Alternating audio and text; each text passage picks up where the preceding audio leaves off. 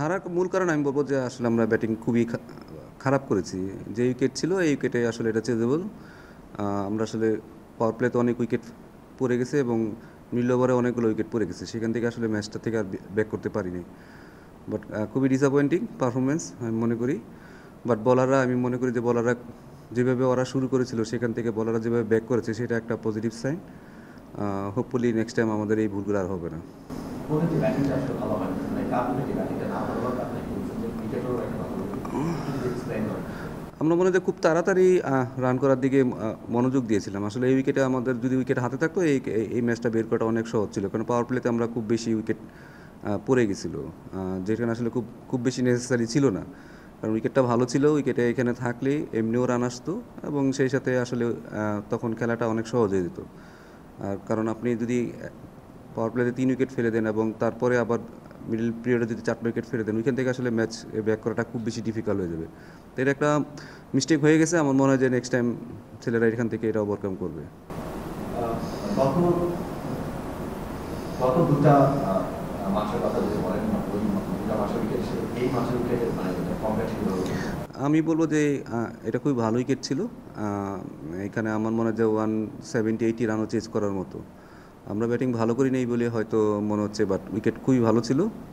এবং বরিশালও কিন্তু আমার মনে যা, যেভাবে শুরু করেছিল তাদেরও রান কিন্তু অনেক বেশি হওয়ার কথা ছিল। বাট আমাদের বলাররা লাস্টের দিকে খুব ভালো বল করেছে বলে হয়তো রানটা খুব বেশি হয়নি।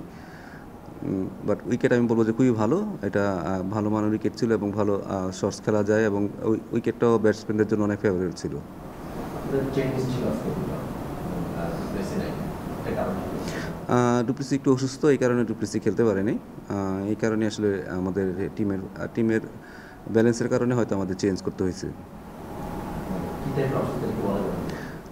একটু ওর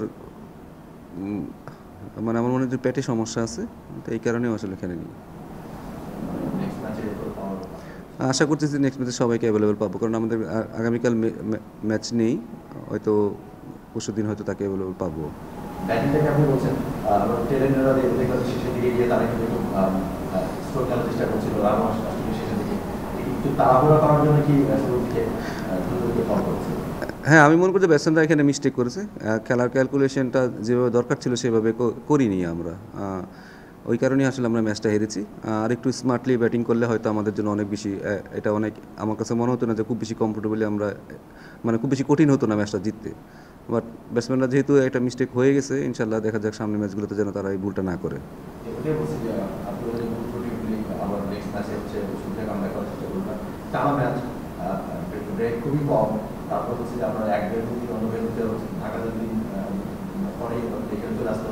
এরকম একটা আসলে সম্ভব? মানে কাজ করা।